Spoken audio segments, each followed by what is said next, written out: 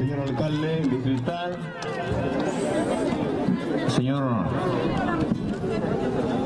presidente del Consejo de Ministros, autoridades que me acompañan, hermanos y hermanas, dignas autoridades, colegas, maestros y maestras, estimados niños, ¿dónde más puede estar una autoridad que es elegida por el pueblo? ¿Dónde más puede estar una persona que vive con el pueblo? Por eso, para mí no es extraño estar en ningún rincón del país, pero entiéndanos que también estamos haciendo el esfuerzo de acomodar la casa, de ordenar la casa. El Palacio de Gobierno no es solamente para los de arriba, es para el pueblo.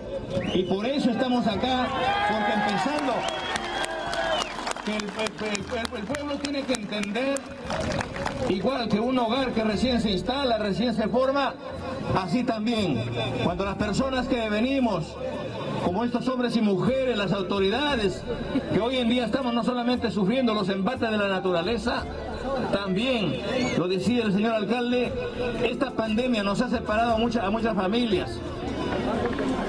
También ha desnudado muchas realidades. Pero de esas dificultades por las cuales hemos pasado, hay que aprender. De este problema que se ha dado acá en este pueblo, hay que aprender. Muchas veces vivimos disgustados con el vecino, con la familia a veces. Hay que mirar más allá. Nosotros estamos acá y en cualquier rincón del país estamos por el Perú, no estamos por otra cosa. A nosotros no nos va a distraer nada. Siempre han querido distraer al pueblo con otras cosas, con cortinas de humo, con titulares. Nosotros estamos por el Perú. Y estar por el Perú significa atender a las familias más desposeídas como a este pueblo olvidado. Por eso, el día de hoy, hemos, hemos, dado un, hemos hecho un alto a las actividades que hacemos allá en Lima para venir acá Piura. Acá hay bastantes compañeros, campesinos, obreros, desposeídos, niños que claman un espacio para que tengan una, familia, una, una casa más digna.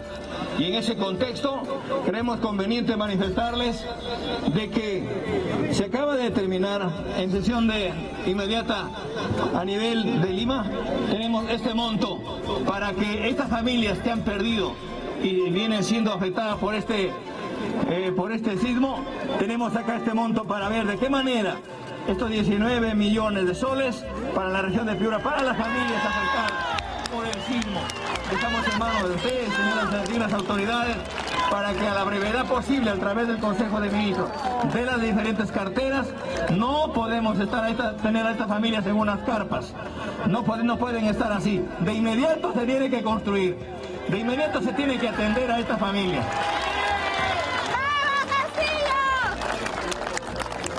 Ahí estamos nosotros para las familias afectadas por el sismo. 19, 19 millones de soles. Creemos conveniente hacerles entender de que el día de hoy tenemos una reunión con los alcaldes. Inmediatamente vamos a, a conducirnos a, juntamente con el gobernador regional. Señor gobernador, yo creo que el pueblo nos ha elegido para trabajar sin ninguna discriminación a ningún pueblo, a ninguna comunidad. Tenemos que trabajar con todos. Acá no hay privilegios. El techo de la familia peruana no tiene tener no, no, puede tener privilegios. Es más, cuando se construye una casa tiene que ser con todos servicios, con servicio de agua, con el servicio de luz, porque una cosa es tener un techo y otra cosa es tener los servicios. Hay mucha discriminación en el país y por eso quisiera agradecer al pueblo peruano por su tolerancia también. Y quiero agradecer desde acá este espacio a aquellas empresas que hoy en día se decía que Pedro Castillo va a ser, le va, le va a llevar al abismo al país. No, por el contrario, están entendiendo. Hay empresas que han venido debiéndole al país, se están acercando a pagar sus deudas con el país. Y eso es importante para tener que darle a los más necesitados, para tener que darle a los niños, para tener que darle incluso a las personas discapacitadas que hoy en día están pidiendo que se les asista. Ayer nos reunimos con la ministra de la Mujer y también con la ministra Dina Boluarte. ¿Cómo es posible que hayan miles de, de personas discapacitadas, personas abandonadas, tráfico de niños y de niñas y no se han hecho nada? Vamos a rescatar a la juventud y a la niñez y vamos a, vamos a, vamos a poner el pecho por estas nuevas generaciones para darle salud y educación. Muchas gracias, queridos hermanos. Creemos importante que también nos alcancen no solamente los problemas de la familia, no solamente los problemas de la vivienda.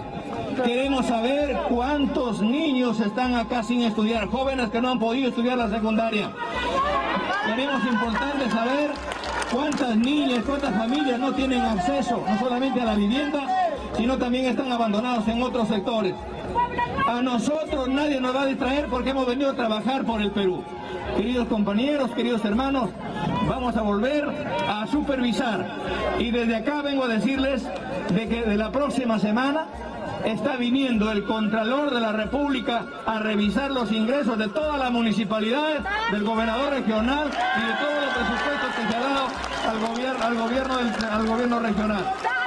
Vemos importante los centavos que se dan al país y a la familia tiene que ser para la familia.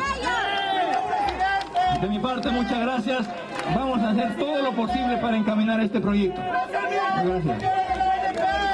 El presidente de la República, Pedro Castillo, que ha llegado al eh, distrito de Bichayal, región de Piura, para inspeccionar la labor que se viene ejecutando en favor de los damnificados.